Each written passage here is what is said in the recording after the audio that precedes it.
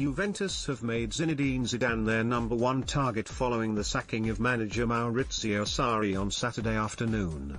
The Italian champions dispensed with Sarri after just one season in the wake of their dismal Champions League exit to Lyon on Friday night.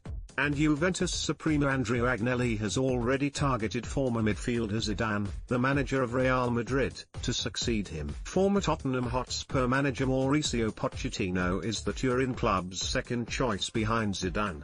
Talks with Real President Florentino Perez over Zidane are imminent as the Spanish champions also lick their wounds following a Champions League exit on Friday. Agnelli will do anything to bring Zidane back to Juventus, the club he represented with distinction as a player for five years between 1996 and 2001. And star player Cristiano Ronaldo would like to work under Zidane again following their success together at Real Madrid. In the wake of Real's last 16 exit to Manchester City on Friday, Zidane said, We will see what happens next season.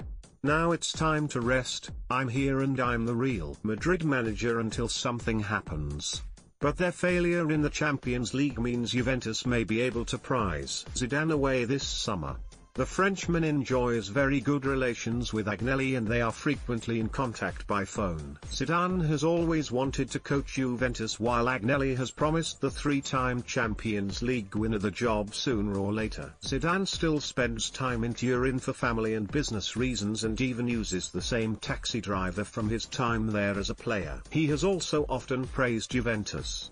In 2016, when inaugurating the Z5 Sports Center, he said, Juve made me grow as a footballer and as a man. It's always an emotion to come back here as I played five years in Turin.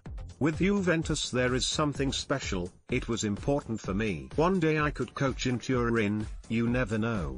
The sports complex was opened by Zidane following others in Aix-en-Provence, Marseille and Madrid and features a five-a-side football center and restaurant.